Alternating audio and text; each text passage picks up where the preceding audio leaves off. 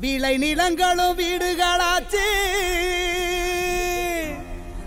விவசாயி வாழ்க்கை பாழா போச்சு.